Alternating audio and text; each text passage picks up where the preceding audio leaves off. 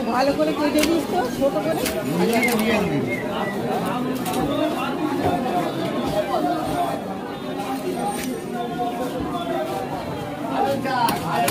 খাওয়া যাবে